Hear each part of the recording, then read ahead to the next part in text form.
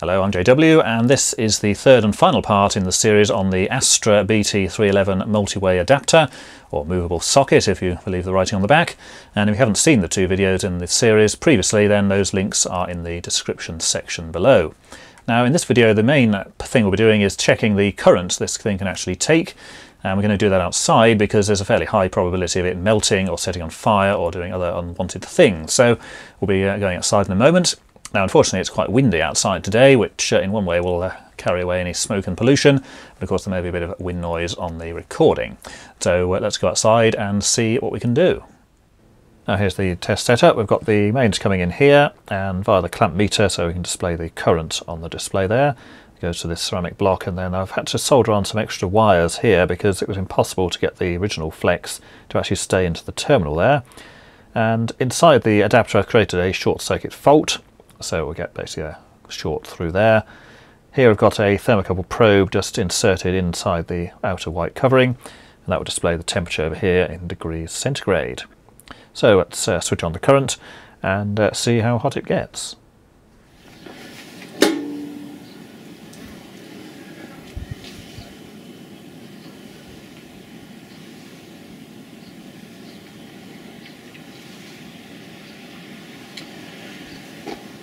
So that's about 5 amps, uh, which is about half of the alleged rating of this thing. Uh, remember this was rated to 10 amps allegedly, so uh, should be able to cope with 10 amps, no problem.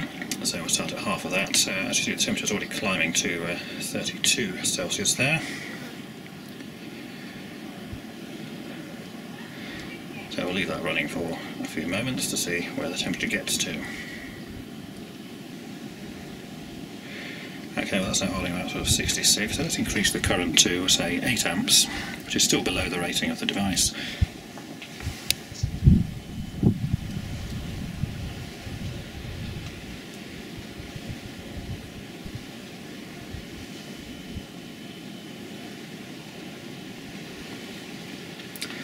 Okay, we're just over 8 amps or 8.35 there, and you see the temperature is climbing rapidly. We're now up to 80 centigrade. Uh, exceeding the rating for standard PVC insulation, which is normally around 70. Temperature increasing significantly to 90 there. This cable will now be far too hot to even touch.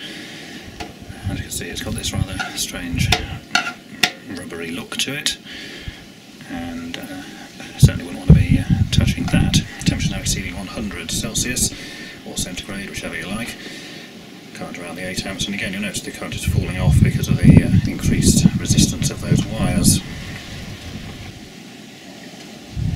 Now the temperature is already at 137 uh, centigrade and current still just about 7.9 amps. I just smell the hot PVC odour coming off of the equipment. Temperature is still increasing and again bear in mind this is only 7.8 amps or a load of circa 2 kilowatts equivalent to the mains voltage, and uh, this is supposed to be rated at 10, so this is still well within the alleged rating of the device. Okay, the temperature has now reached 161 centigrade. Uh, this uh, is going to be uh, far too hot to touch and will cause a uh, severe burn injury if uh, someone did actually touch the thing. And so we're only running this at about, say, 7.8 amps or just under 8 amps there well within the rating that it claimed. See the insulation is uh, soft and uh, gungy looking. The temperature is still increasing, coming up to 180 Celsius there. I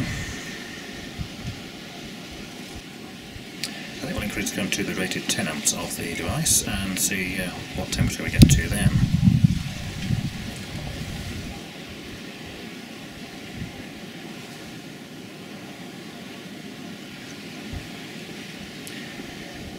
To there well just under the 10 amps mark. Uh, temperature is now rising substantially quickly at 213 there. Again, this is centigrade, double the boiling point of water already. And this is, uh, say, around the 10 amps, which is what this thing is rated to. See smoke coming out of the insulation there.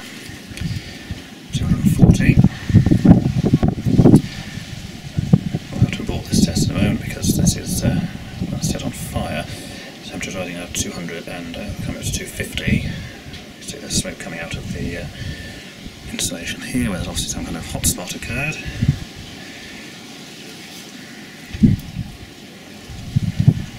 Now the temperature continues to increase, 264.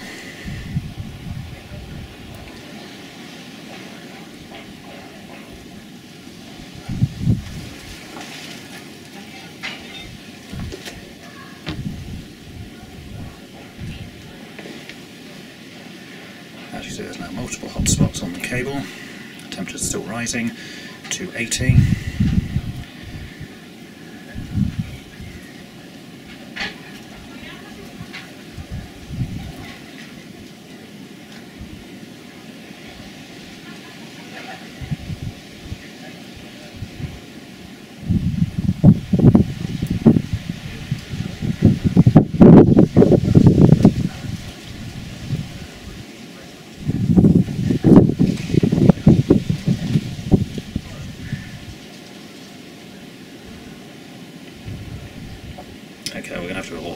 Temperature now reached 300 Celsius, so uh, we'll be turning off.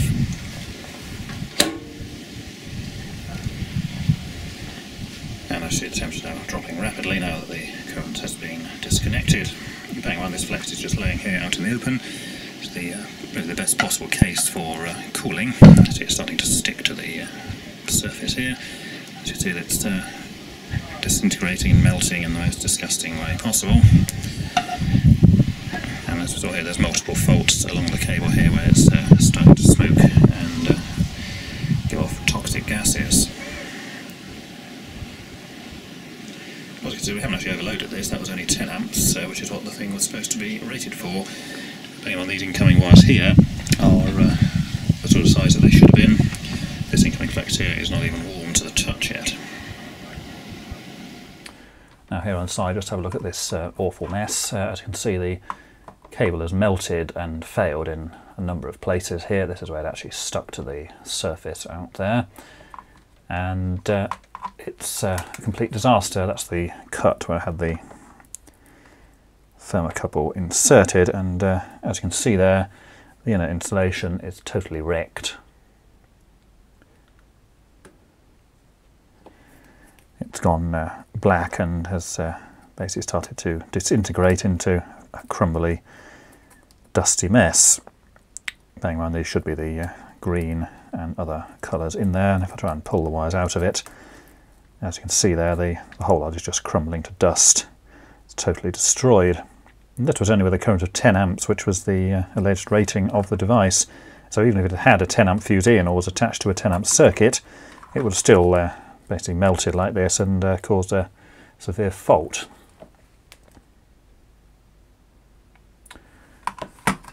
Now the thing itself, uh, as you can see on the back here, the uh, cable temperature is such that it's actually melted through the back of the plastic casing. And again, if we just uh, go in there, we can see that it's again the same dusty and disintegrating mess that uh, we had before. And again, here on the cable, you've got the areas where it's obviously been uh, melted through and on the point of disintegrating. And the whole thing is now horrible, crunchy and disgusting mess.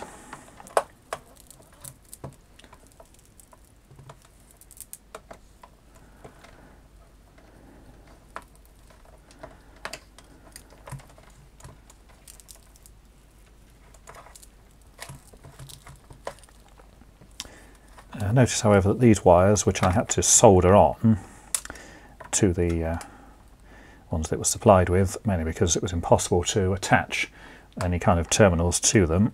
Uh, these are the uh, tails here, which were carrying that 10 amps as well, and you see, totally undamaged, no problem at all there. And this is uh, only uh, 0.75 millimeter flex, so pretty small again, but uh, took that uh, current no problem. There's a bit of a melt there because it was resting on one of the white insulation material.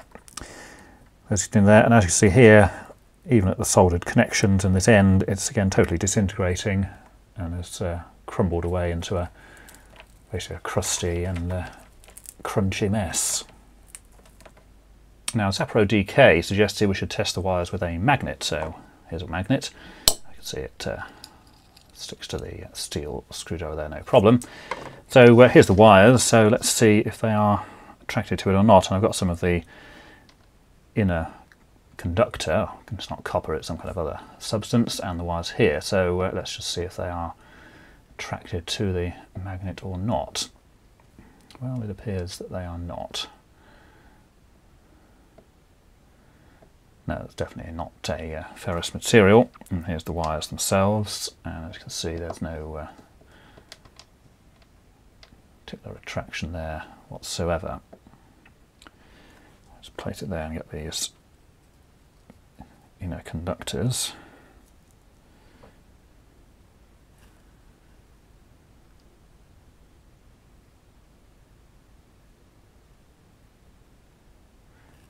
No, so it doesn't appear to be a uh, steel or other ferrous material in there. So we'll assume therefore that they are in fact uh, aluminium. No, nothing there at all. Say with the screwdriver here, you see it uh, it's easily attracted to the uh, magnet there, but the uh, wires, of course, uh, are not. Now, another comment on uh, YouTube was from the Chipmunk 2008, and they uh, suggested we should see if it's flammable or not. So uh, I've got some uh, another piece of this flex which we can do a test on. So we'll see if the uh, three individual inside conductors are flammable, and also the uh, white outside covering. And uh, this is obviously now totally wrecked, so I may as well just put a flame on this as well and see if this burns or not. So obviously we'll do that outside. Now I've got the uh, wires just hanging up there, just the three inner conductors and also a piece of the white outer covering.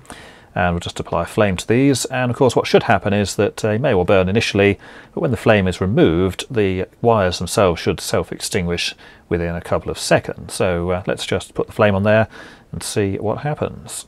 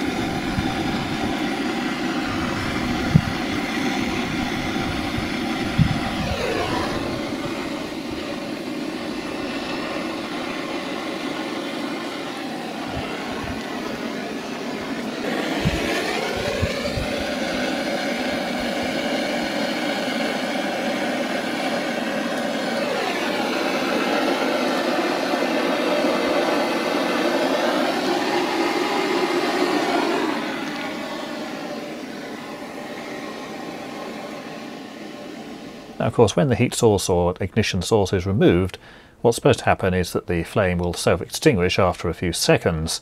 As you can see here, it's continuing to burn readily, and in fact, it's actually getting larger there. Also bearing in mind it's quite windy out here, so uh, the wind ought to be assisting with extinguishing the flame. But of course, as you can see, the flame continues to grow in size. This material clearly is very far from flame retardant.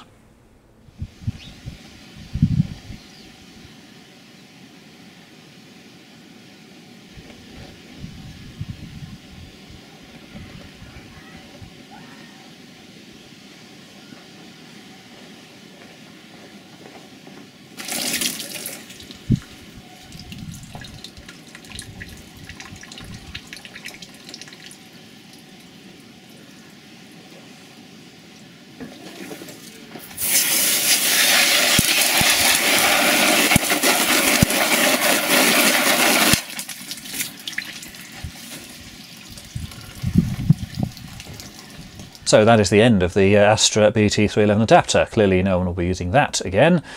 Now the current used in that test, uh, just to uh, reiterate, was only 10 amps, which was the alleged rating of the device, as it clearly stated 10 amps on the back of the packaging, and obviously uh, 2,500 watts. Now that's only a sort of one fan heater or something in fact, or uh, obviously a range of smaller devices, so that was well within its uh, alleged operating capability, and yet as we saw the temperature of the Flex exceeded 300 degrees Celsius, and uh, obviously started to smoke and disintegrate. And as for the flammability, the individual cores and the outer white covering uh, weren't too bad. I mean, they did obviously burn with the flame there, but when the flame was removed, they uh, did extinguish after a uh, few seconds. However, the actual adapter itself, uh, made of that sort of hard and fairly brittle plastic, which, uh, bearing in mind, claimed on the packaging to be uh, non-flammable and so on, clearly burned very easily, and even when the flame was removed, it actually would have continued burning until the whole thing had burnt away, and even I slung a bit of water on it, certain parts of it still continued to burn afterwards. So uh, clearly that is a huge fail, and uh, obviously that's not the kind of thing which you should make electrical items from. Now, uh, obviously, uh, we're not going to be doing out with that particular adapter, but if you have actually got one of those or have bought it, then the only sensible thing to do, of course, is to destroy it and dispose of it. Certainly do not consider using it. So until the next video, thanks for watching.